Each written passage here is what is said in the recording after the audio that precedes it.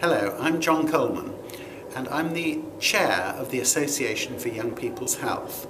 We're very happy to support Brook's Sex Positive campaign. We believe very strongly that sexual health services are important for young people.